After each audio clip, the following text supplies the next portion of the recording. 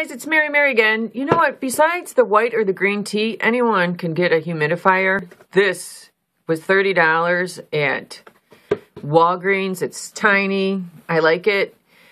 Uh, with a, mo a month's use, though, it already salted over at the opening, so you have to clean that out with like some kind of CLR or whatever. So let me bend down now and get basket number two. Basket number three, I'm kind of uh, afraid to touch because of the nut products in there. All right, so this I've bought a week ago, Earth Therapies Volcanic Ash. I think ash is like one of the purest substance on the planet. For exfoliation, I just keep forgetting to use it. this is um, just an experiment. Petroleum jelly. I think this was pretty oily. Let's see.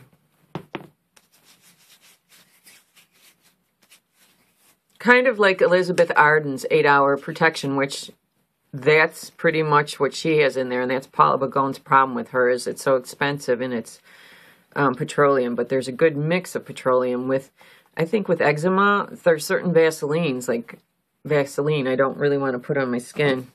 Here's the 8-hour an example of the, no, the ceramides, a different variety of ceramides. Uh, let's see, this was Cera, originally Ceramide Advanced Extreme, and it doesn't say what's on here, what's in here. I'd love to know. Um, I haven't used this yet. I'm kind of turned off to Burt's Bees, though, because I know one of their lipsticks has got a lot of something in here. This is what was supposed to help my skin if the Basha didn't, and it didn't. I could not put this on my face.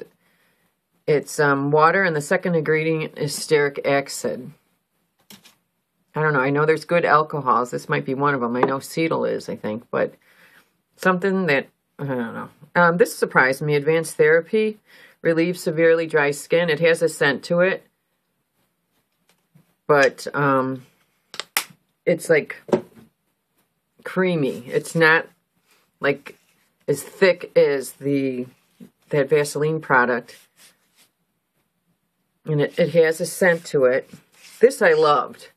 And this probably will work for you if you like the Jergens, the tanner. If that doesn't bother you, this is Total Moisture from Vaseline. I was very leery about this. But it has um, water, glycerin, then the stearic acid, petrolatum, isopropyl palmate, avena sativa. So that's the oat straw extract. So this is worth a whirl. Um, love this. Look at that with the aloe in there. You know I love the juice.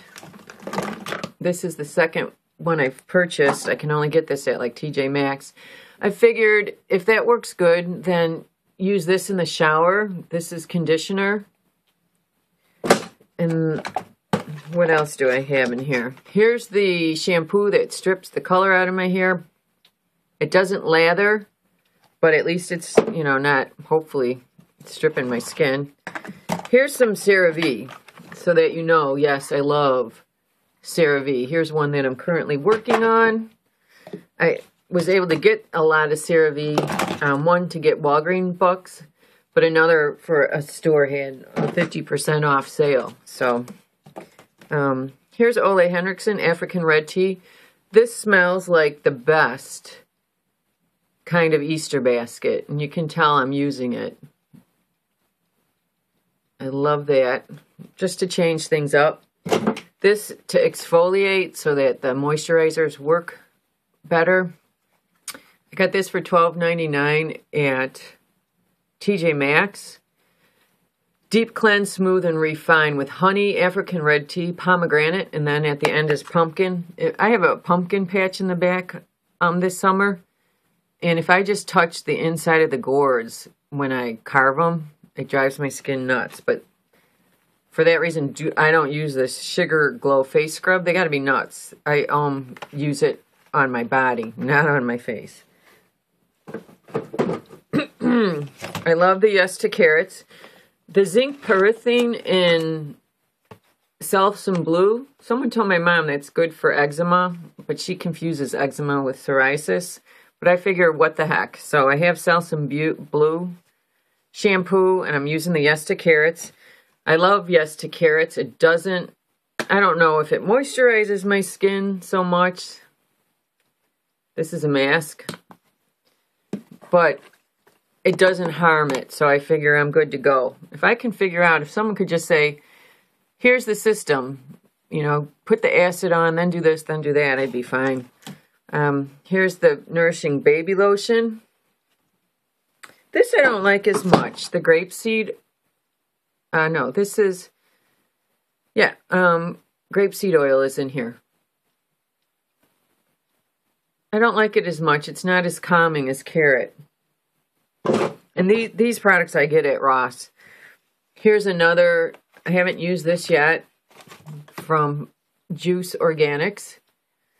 And then here's a African Red Tea from TJ Maxx that I use on my lips. I also have um, a few more tins. I don't like sticking my hand in tins though. Just like I don't like sticking my hands in tubs. But I had these two that I do use. I've had these since the summer though. Um, use this up. Sarah therapeutic hand cream, but I didn't notice anything great. It's dimethicone 1%. You can go to the dollar store and get dimethicone in the Dermasil. Here's the nappy cream. I just don't know what I'm going to do with.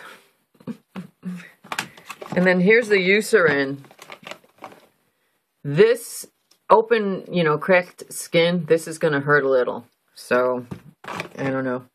So anyways, that is pretty much my winter mess. If you can help me figure out a plan to maximize all this wonderfulness, I would so greatly appreciate it.